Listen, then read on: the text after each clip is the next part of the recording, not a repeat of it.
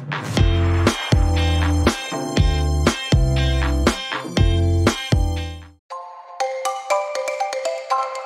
I started uh, giving out the gift, uh, I'm quite uh, uh, frightening because uh, like you need to approach somebody who is a stranger.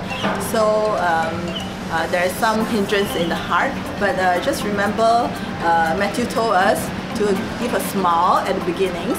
So um, when we approach uh, the people, uh, we just uh, hi and give them a smile first and take the initiative to greet them first. All the families here are very, very young families actually. We have had uh, our fair share of kids as well.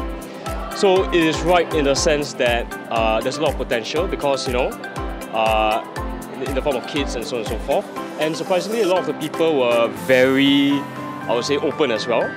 Yeah, so uh, actually, uh, there's a lot of eagerness as well. Managed to meet someone here at the coffee shop where uh, we think they seem quite keen to bring their little girl to join our Kingdom Jewels. So hope to, hopefully we'll see them there. The five finger prayer was quite useful. Um, that we were able to systematically pray for the estate and the families who are there. So I think it was a meaningful time for our CG members and us Uh, to pray for this Bidadari estate.